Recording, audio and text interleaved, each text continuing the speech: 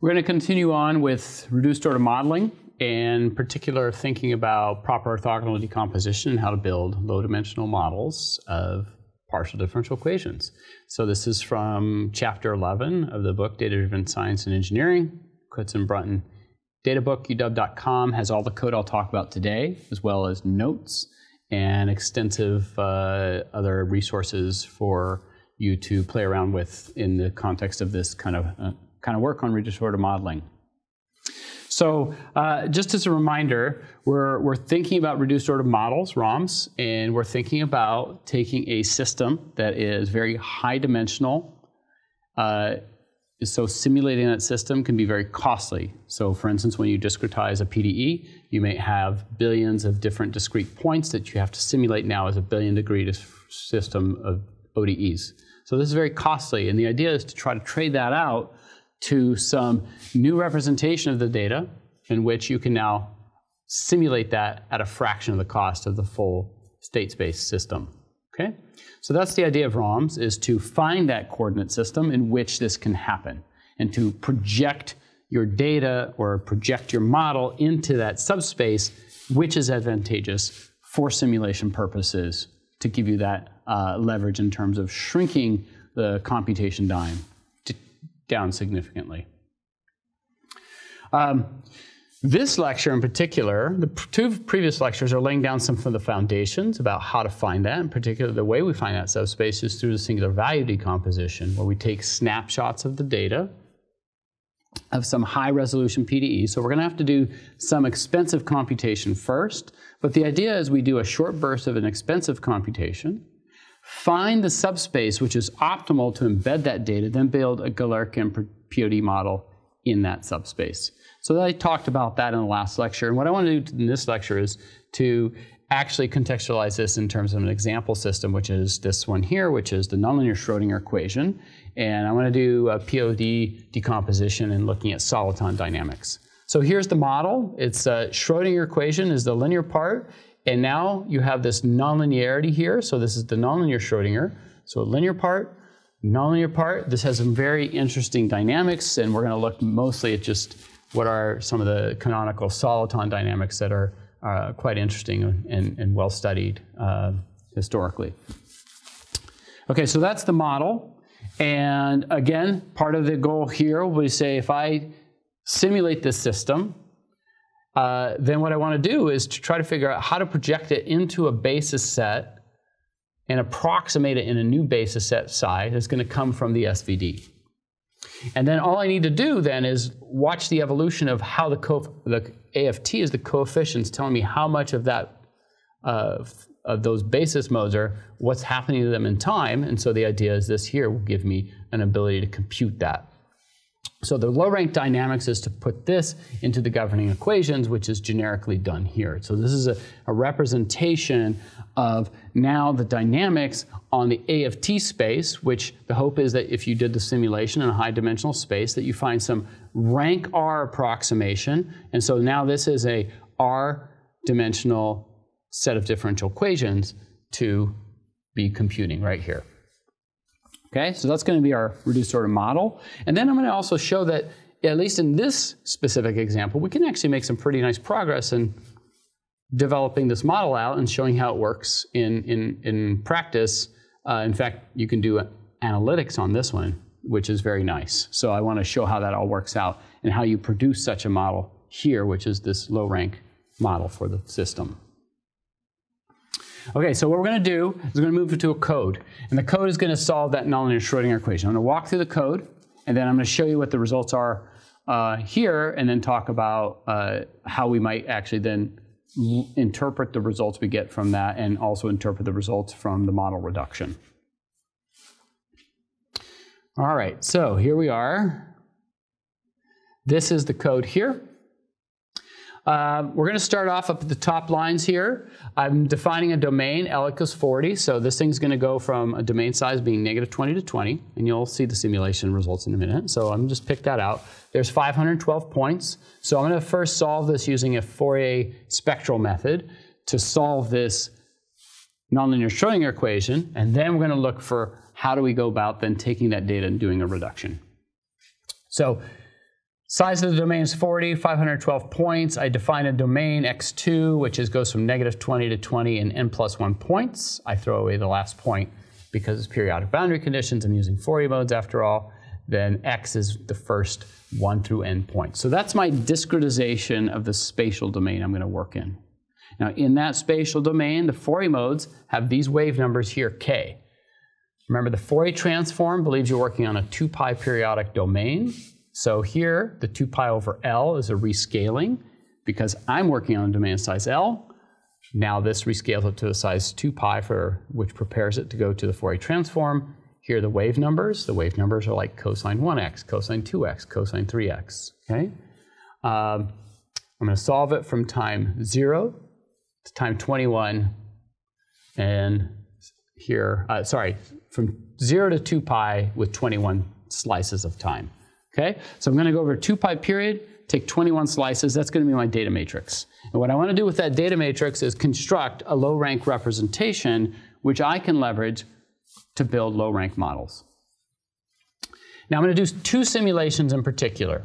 The first one is I'm going to take here simulation of the one, what's called the one soliton, which is you simulate a hyperbolic secant with the amplitude being one. So sech x is what's going to come into here. We're going to take a Fourier transform of that. That's going to be an initial condition for this ODE solver, which is going to now march it forward, solving in the Fourier domain. When I get back out, I inverse Fourier transform, build the snapshots up in the original state space.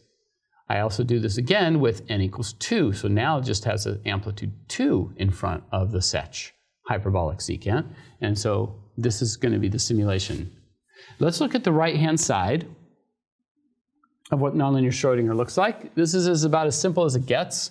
Here it is. You call the right-hand side function. You bring in your, your initial conditions, the time you're going to solve it for, bring in your wave numbers k. Here's the second derivative. There's the nonlinear term. Okay? So fairly simple code to run. Uh, and this is a pretty standard like PDE solve that you would do with spectral methods. Okay? So all that code is available on the website, so you can download it, play around with it, uh, and generate this kind of data. Now, you can run this, and in fact, I'm just going to come back to the slides because I think we can see these runs a little bit better just from the slides.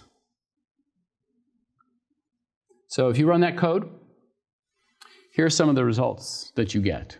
What I'm showing you now is the one soliton and that two soliton. And what you're looking at is the top panels here is the evolution, it's the absolute value of the, of the field, mod u squared, function of x and time. So the n equals 1 soliton, this thing is a nonlinear wave that holds itself together and it takes this hyperbolic secant form and just keeps flying along. Now, by the way, it's not stationary. This, the phase itself is rotating. So I've plotted the absolute value, but if you were looking at the real and imaginary parts, they're switching energy. This complex field evolution. Here's what the spectrum of this thing looks like. So in other words, the Fourier transform of this is right here. So this localized sech produces something that looks like a localized sech in the frequency domain, and this is what its evolution looks like. So this is kind of a very generic and boring case. However, I solved it with 512 modes, and this is the entire point of the reduced order modeling framework, which is when you look at this data and you say, that looks like a very simple evolution. It's this wave that's just traveling. Maybe I could trade out to a coordinate system where instead of using 512 Fourier modes, I use the appropriate mode for doing the numerical solution with this, right? So instead of standing, I'm going to trade out bases trade out those Fourier modes for a better basis. And so I'm going to take this, do snapshots here, find the SV, do the SVD, look for the low rank subspace in which to project this data.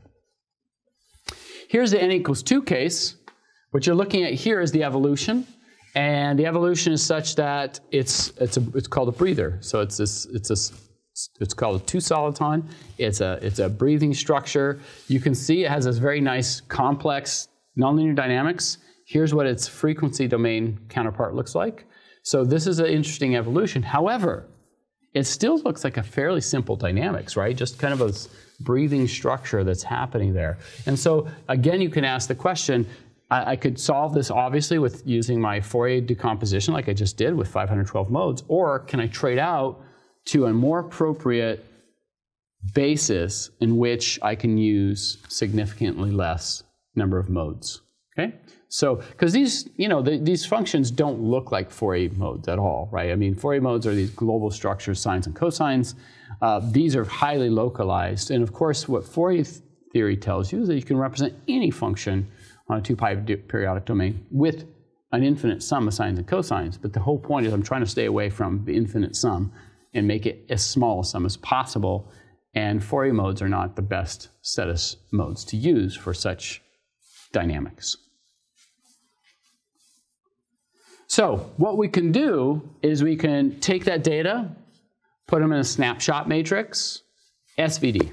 This is exactly what we did in the last lecture. I talked about this. You just take this, you look for the low dimensional embedding. And what I'm showing you here is the results from these two simulations. So top left, top right. This is the n equal 1 soliton, n equal 2 soliton. And what you're looking at here is the energy, the variance percentage, or the energy contained in each of the modes if I look at the singular value decay. So I'm looking at the sigma matrix for those two simulations on a log plot, and you can see right here, the yellow, there's one mode that dominates in the n equals soliton, n equal 1 soliton case, and all the other modes are down here. I've color-coded them, so the first mode is yellow, second is magenta, third is cyan, but you can see everybody else is down here. And by the way, why is it not zero? Well, because I have numerical roundoff. ODE45 is taking time steps that are around 10 minus 5, 10 minus 6. And that's kind of what you're seeing here is this is sort of from your numerical scheme.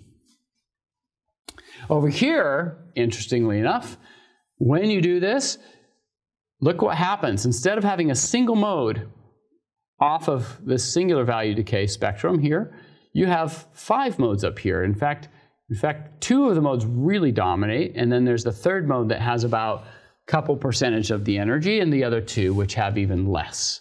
So two modes have about, you know, in the high 90s percentages of the total variance. So it's telling you a lot about the structure that's there and about the dimensionality of what's actually in there. What I've also done is plotted the modes. In other words, the columns of the U matrix coming from the SVD from taking those 21 snapshots, and I look at the first three modes, uh, first three columns of U. So the first one are the first three columns for this n equals 1 case. So first of all, you see this nice yellow here. That's the first mode.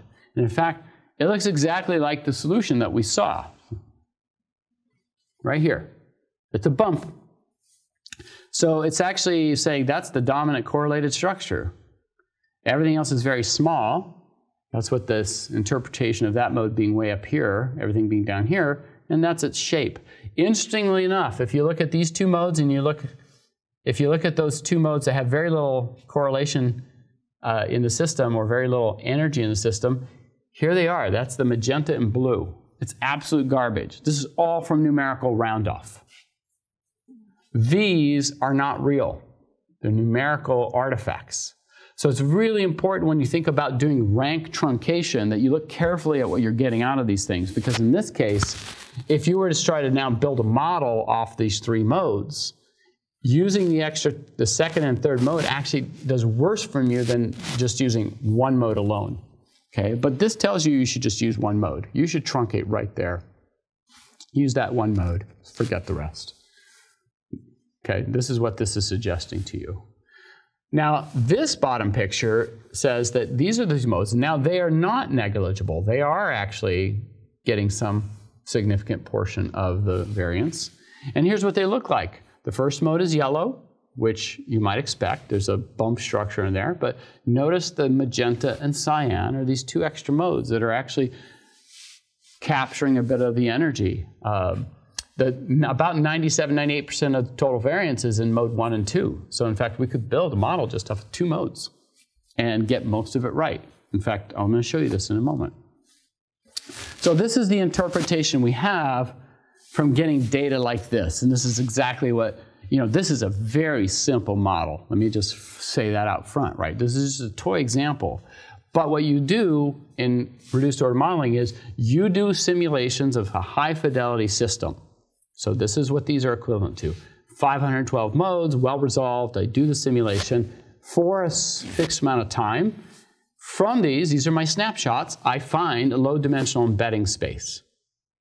And I find that by doing this kind of analysis here, where I look at the singular value spectrum, I look at what kind of mode structures I have, and then I find for myself a way to say, well, I can now project that PDE into this subspace. And how I'm going to do it, course, is through that formula right here. So I'm going to go ahead and project, take inner products, get an equation of motion. So let's do it for this system here. So let's start off with this simple case. Then equals one case. And in this case, uh, what you're going to do is there's only one mode, so I'm going to say AFT phi of x. There's one phi of x, which was that yellow bump. And I'm just going to throw this directly into the PDE.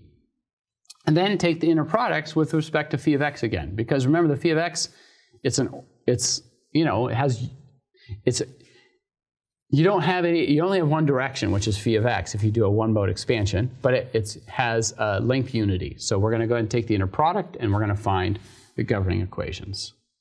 So in fact, here they are. If you do this, you plug that formula in, take the inner product. This is the governing equation for the amplitude of that mode. IAFT alpha over 2a beta mod a squared a. So notice it's a differential equation, not a partial differential equation, for one variable, a, and that coefficients alpha and beta determined from the inner product that you have to that you do once you've actually expanded your solution. And so here they are. So now notice that I'm taking inner product with respect to the second derivative of phi.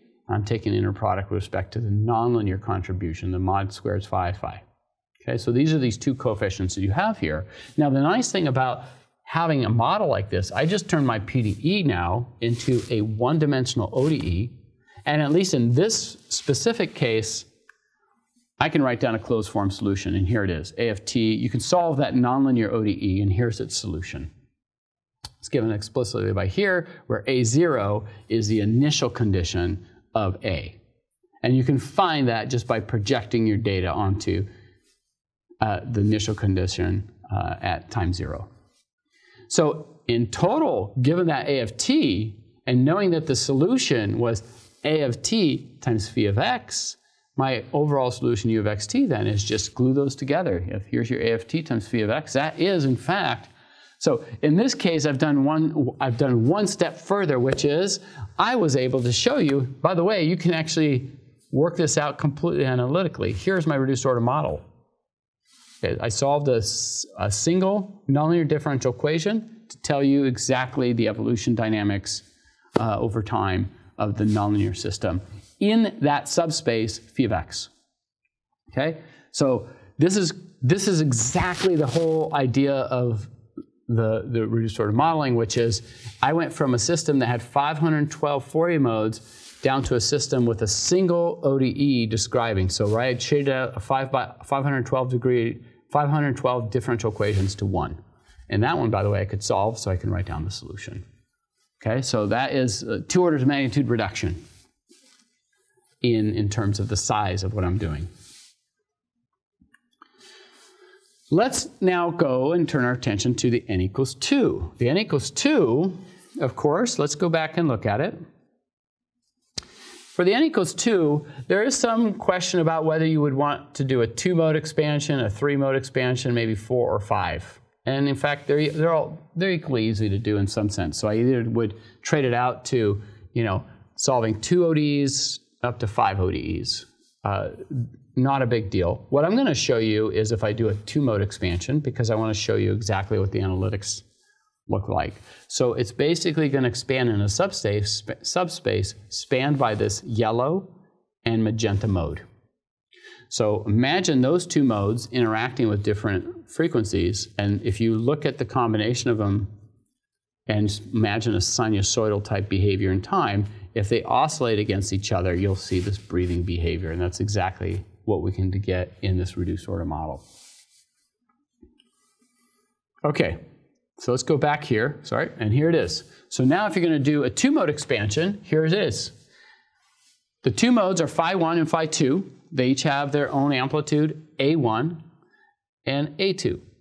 So since you now find phi 1 and phi 2 from this data-driven approach, that's your subspace. Now you just have to find A1 and A2.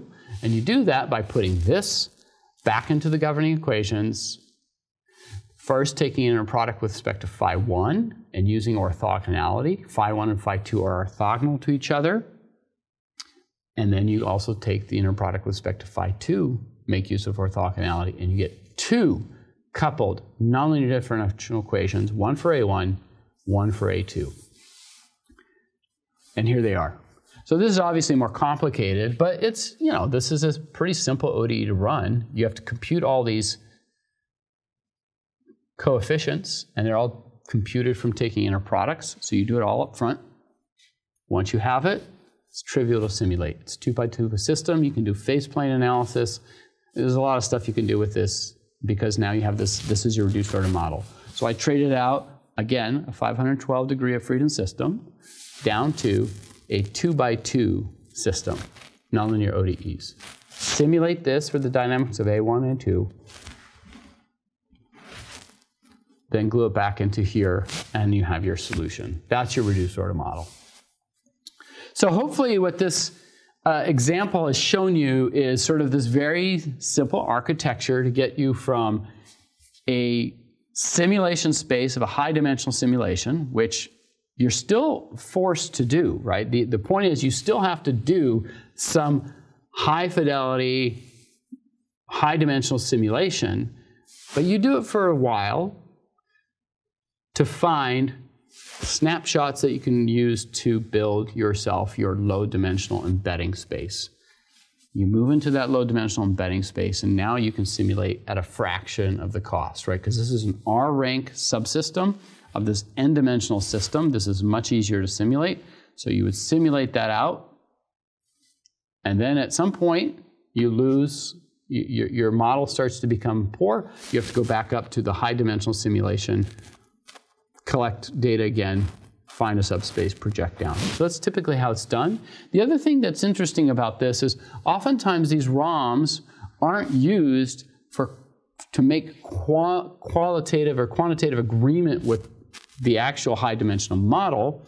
So for instance, a lot of times these ROMs are used for Monte Carlo purposes to get statistics. So for instance, if you want to calculate lift on a turbulent flow, you really want the statistics of the turbulent flow to compute that lift.